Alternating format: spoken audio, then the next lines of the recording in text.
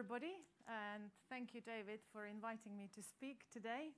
My name is Mateja Jamnik, and I'm, I have been in the computer lab in Cambridge for quite a while, but I have been, I've done my PhD in Edinburgh and I've traveled around a bit. Um, it's a pleasure to be here, and those of you who are very observant will notice that the title is slightly different to what it says on the program but actually it's the same type of work. So you're going to hear the talk that I promised uh, in the abstract. And those of you who have been in Cambridge last week, don't worry, you don't have to switch off. In fact, don't worry and do switch on because it's a different talk to, uh, to, to, last week. So I'm, I work in the area of artificial intelligence and I'm a mathematician by training. And um, I'm interested really in uh, studying how people, how humans do mathematical reasoning, how they solve problems, in particular using things that perhaps a more formal community would consider informal methods, like using diagrams and so on, or using symmetry or using analogy.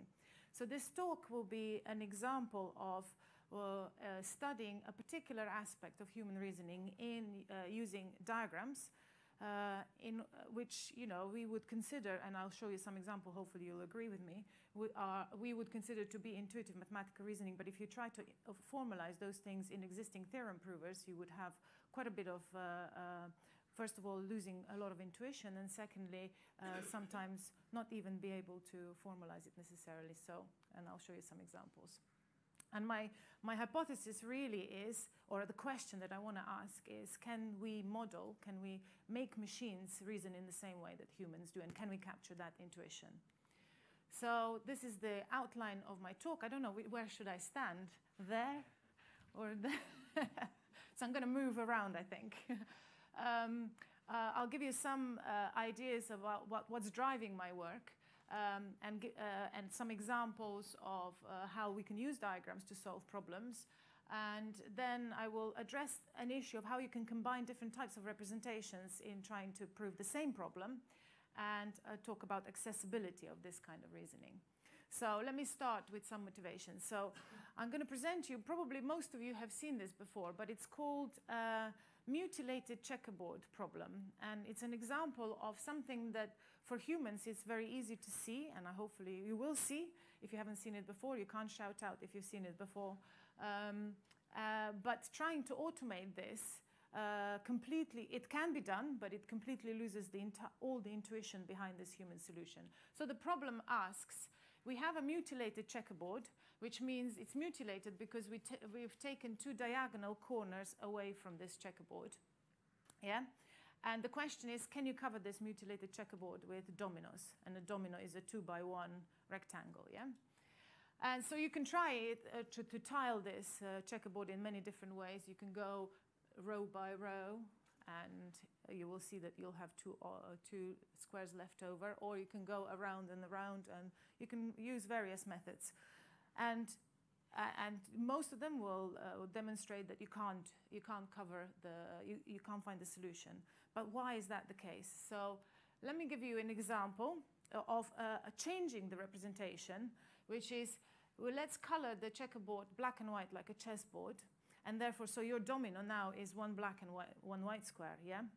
And now you, it's immediately obvious that when I took away two diagonal squares, I took away two white squares. But if I want to cover this board with dominoes, I have to have the same number of white and black squares. So I will never be able to do that. And so the, the intuition is so simple, right, for us to see that. But uh, if you were trying to do this in your favorite flavor of your theorem prover, um, uh, the, the, the, and formalize it, the, the, intuition is lost. And here is, this is probably one fifth or probably even less of a whole proof of the formalization of the proof um, of, of, this theorem. Uh, yeah, so I want to capture those types of intuitive uh, uh, characteristics of human reasoning on machines so that we can make machines reason in that way. So what do I want? We want to make um, AI systems more human-like in reasoning. We want to make, and we want to make them more accessible. That's the kind of a long-term uh, uh, goal. And in the process, we want to understand how people do it, and we want to build tools which will enable us to uh, study this in humans and help us then uh, use these machines, uh, the, the, these systems, uh, to solve problems in these uh, types of intuitive ways. So the question is, um, if I find, the, like, like, in the mutilated checkerboard example, if I find the right kind of representation uh, to my problem, then the solution becomes almost trivial and becomes uh, uh, easy to find. And that's one of the things, for example, that Polya has also been championing.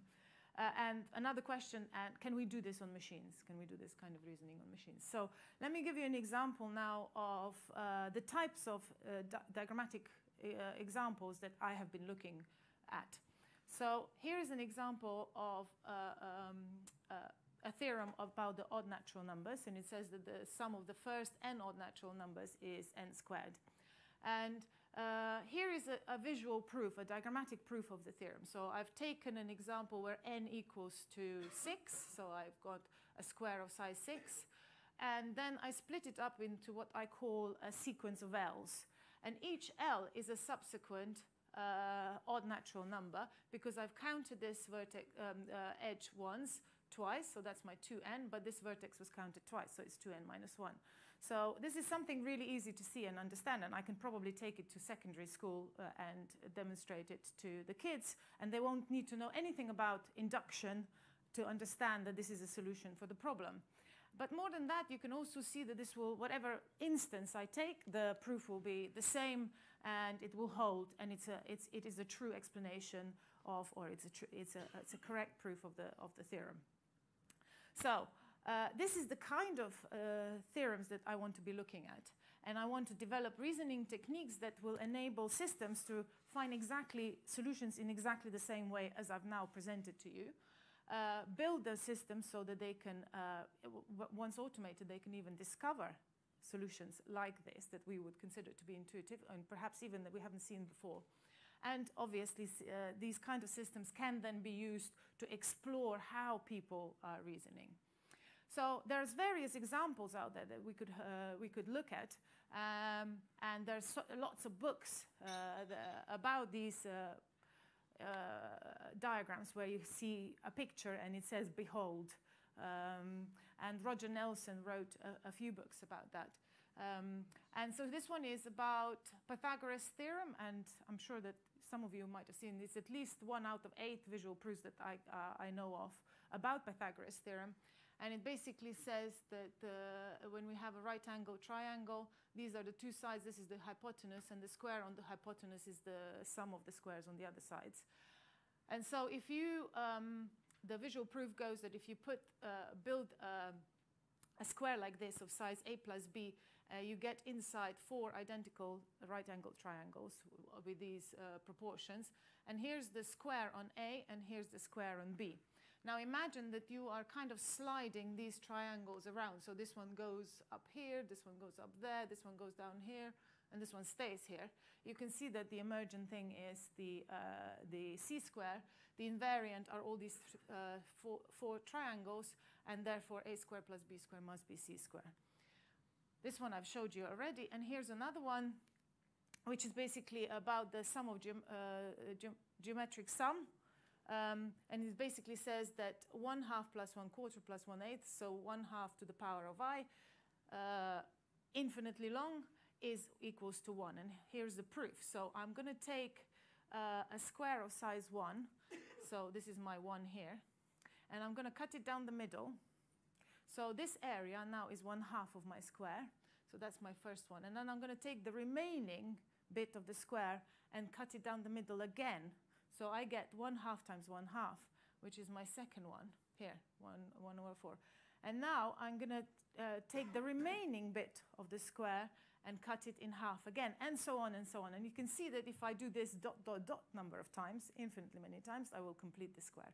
So there's lots of different examples of this, but which ones am I going to look into in particular? Well, I'm going to look at this second category, where you have, where we're talking about natural numbers. So we have a discrete space and we have a notion of a universal quantifier because, for example, here we don't have any notions of, um, of universal quantifier, we use generalization that for any A, B, and C, this holds. And here we don't have that either, but we have an inherent ellipsis, so an inherent abstraction in representing even one case of my, uh, of my theorem. So I'm going to focus on these discrete space, uh, algebraic versus geometric theorems. This is perhaps interesting because you would have thought that geometry is the amenable thing to visualize it, but algebra can be too. So I, am talking about natural numbers here. And the ones that can be expressed as diagram and have a parameter and therefore we're talking about a discrete space because we're talking about these diagrams. But what are the problems? The problems are that these diagrams are concrete in nature, so how do, how do you capture that one example, that the concrete example captures the entire proof in, for any case, right, for any value of your parameter? And secondly, if you want to talk about the nth case, you would have to use abstractions, ellipses. So you could do that, you could formalize abstractions, but what, um, uh, what happens to them when you're trying to spatially manipulate them and cut them in various ways? Uh, they are inherently ambiguous and difficult to keep track while manipulating. So I propose a solution to dealing with this problem of abstraction to use schematic proofs. Now, what are schematic proofs? First of all, they use uh, a version of omega rule. And what is an omega rule? Well, it's this. If I can show uh, all the premises for any number, then I can conclude the universal statement. Obviously, if I'm trying to automate this, that means I have to prove an infinite number of premises, which is no good for automation. So I have a problem here. So the solution is to use the constructive version of the omega rule, where all PNs are proved in a uniform way. And what does it mean, a uniform way? So, um, uh, so I get a program for my premise P for a particular variable that, that proves that premise. Um, and then I can conclude the universal statement. Now, a uniform way, one of ways of uh, uh, uh, finding a uniform way is to find an effective procedure. And in my case, I will be looking for a recursive procedure, a recursive program, which is an effective procedure to satisfy that. And now, obviously, now I can now I no longer have to prove an infinite number of premises, but I just have to find a program that proves every premise for me. Okay. And uh, then the schematic proof is then param parameterized in the numbers of steps. So whatever n I give to the, my program, it will produce me a proof for that premise. Okay? And now this has been done in, um, in arithmetic. Okay, first, uh, how do you implement it?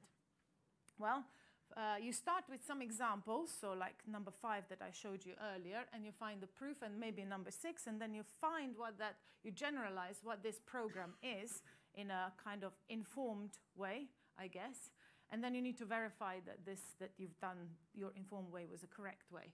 Uh, so you have to verify the procedure that uh, you can see that there's a recursion in there, right? So it's uh, in the meta theory you can prove this.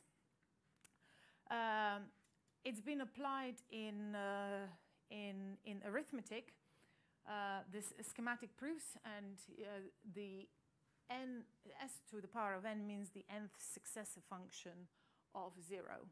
Okay, so we're encoding numbers that way. And you will see, I'm not, I won't, I probably won't have time to go through it, but the, the point is that the schematic proof, the number of steps that I apply in the proof depends on this parameter, okay? So you can see I was applying here the, the um, step case of the, six, uh, of the addition function uh, n times to get to this, and so on. So the proof will say, do this inference rule n times, do that inference rule once, and so on and so forth. So it's a schematic proof. Okay, and so how, we can, how can we use this now in, um, in diagrammatic reasoning? Well, we can first prove uh, formally uh, examples, concrete examples interactively with diagrams. Then we automatically extract this proof, which is our in, uh, intelligent guess, I guess. Uh, and then as a, as, a, as a computer scientist or as a logician, we need to verify that our procedure was done correctly. So these are the three steps. And so in terms of the, uh, the sum of odd natural numbers, you would take, for example, the, uh, n, the case for n equals to 4, and you would cut it into three. See these three cuts into L's. Now that's my result, and then I will do maybe split ends to show that each L is an odd natural numbers number. And so my schematic proof would say I'm going to do L cut n minus uh, n times, which is the, here is the three times. And then for each L, so n times, I'll do split n's n minus 1 times. So you can see that it's parametrized over n. And so whatever n I give it, it will produce me a proof for that particular case. Uh, I've implemented the diagrammatic theorem prover, which, which, um, which, which, which, allows you to prove these theorems in an entirely formal way, where it also checks the correctness. It finds, uh, first you use uh, um, spatial manipulations as your inference steps, you extract, a, the system extracts a schematic proof, and then it checks it's correct formally. And the things that I had to address in this process were things like what kind of uh, inference steps do we have? Um, and here we can see that I, you can see a direct, uh, uh, uh I guess, realization of Polya's idea that, that uh, the right representation makes finding a solution trivial.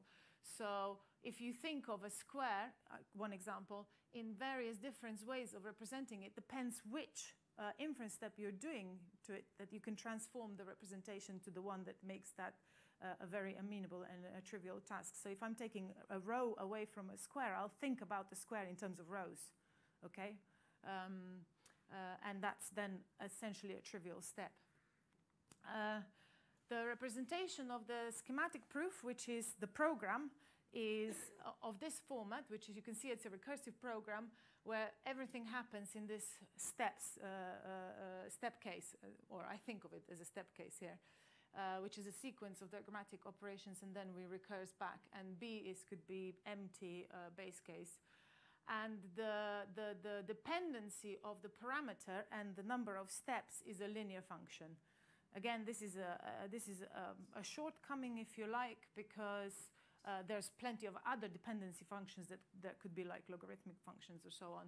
But we found that most of the examples that we've seen, the, uh, the linear dependency was sufficient. And finally, you need to show that what you've extracted, the program that you've extracted, is a correct one.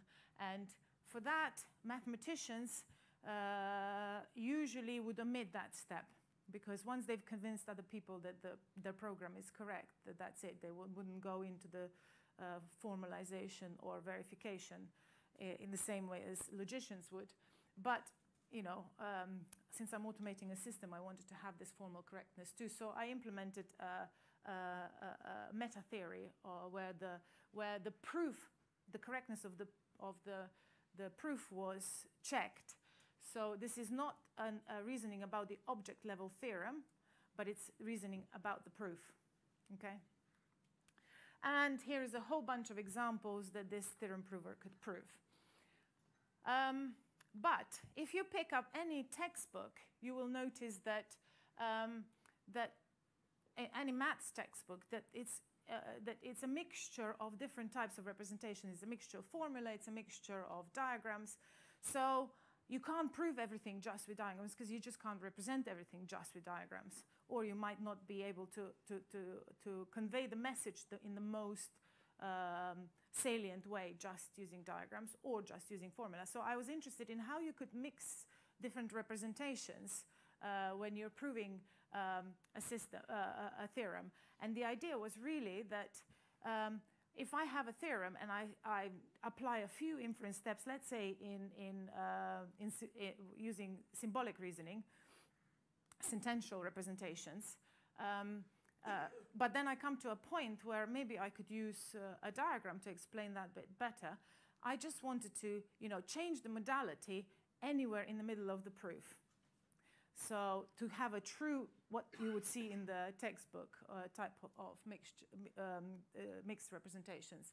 So we started to look into that, and uh, we call this heterogeneous reasoning because we are mixing diagrams and sentences, and in fact, uh, different, uh, completely different representation to that as well, and I'll show, I'll show you um, in a minute. Um, and we found that um, this really helped us in terms of accessibility and uh, to the diverse stakeholders, if you like, who are trying to do formal reasoning but don't have mathematical background.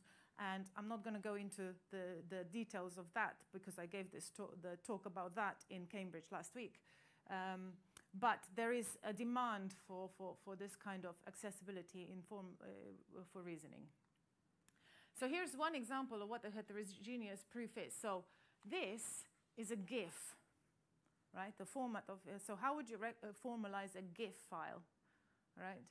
So we have a square, some picture of a square, and we want to, uh, it's a contrived example, obviously, but we, I just want to demonstrate an, uh, a point. So we have uh, image processing tools that could easily process this and say this is a square and it's of a particular size. So uh, it tells me that the area of it is this. And then I continue doing some, um, uh, I did arithmetic simplification here, and then I compute a shape. So I ask the image processing tool, what is it? And it tells me it's a square. And so shape X is a square, so I can prove a theorem. So you can see that I was using uh, image processing tool uh, steps and formal steps in the theorem prover. So can you do this kind of mixing and matching in one uniform framework? So for that, you need to design what we call a heterogeneous reasoning logic, which will support this kind of mixing. Um, and uh, inevitably, it might have to have formal and informal uh, uh, steps because how do you formalize an image processing tool? So if you have two formal systems that you plug in together, then you have a formal guarantee to have a formal proof.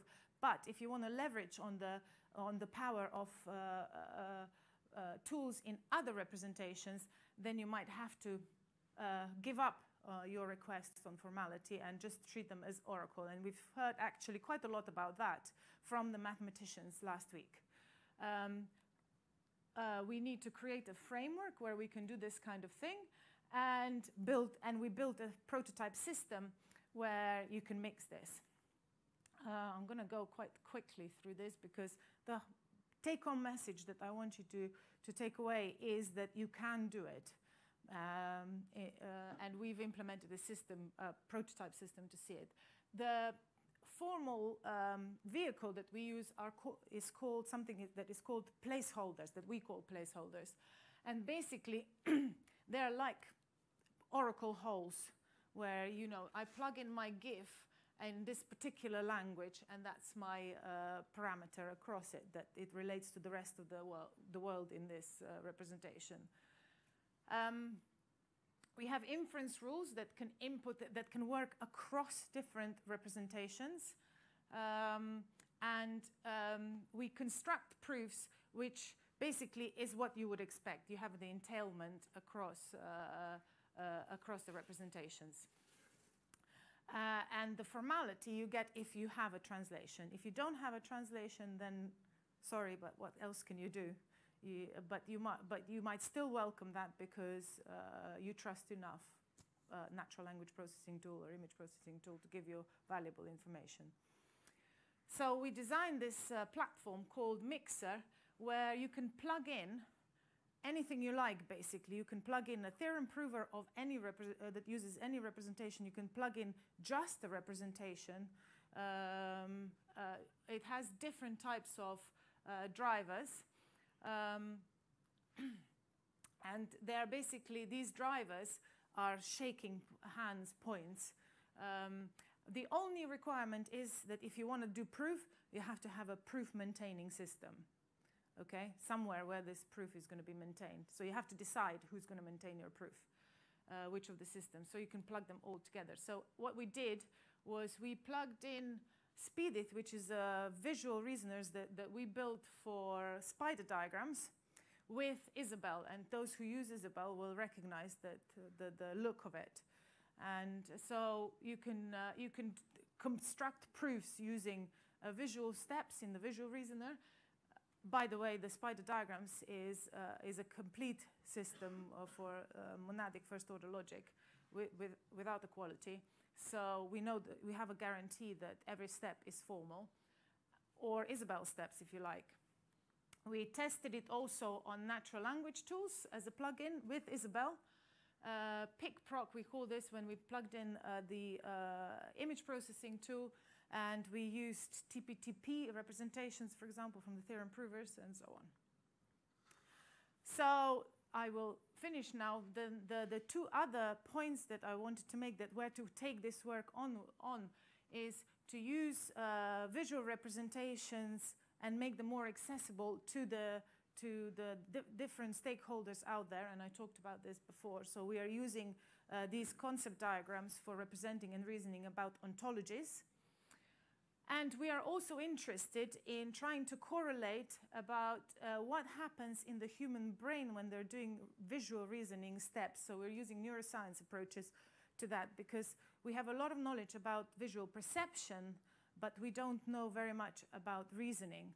So we are uh, looking at what happens on the biological level in the human brain in reasoning with visual representations and then comparing uh, when the same type of reasoning is modeled in artificial uh, nets, for example, and then trying to find the correlation, whether one can inform the other and so on. And the idea is that if we could identify what kind of things people find uh, accessible, we could use this as heuristics when we're building our systems.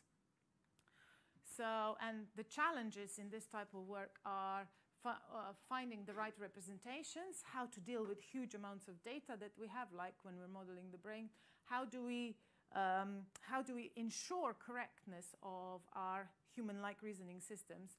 And actually, uh, one of the things that we've been thinking about recently is how do we model people making mistakes and people forgetting information because there's a functional usefulness in that uh, and we want to investigate um, what, uh, how we can model that in our human-like reasoning systems. So I'm going to conclude here. I've showed you an example of how we can approach trying to build systems that are more human-like in their reasoning process. Um, so yeah, thank you very much.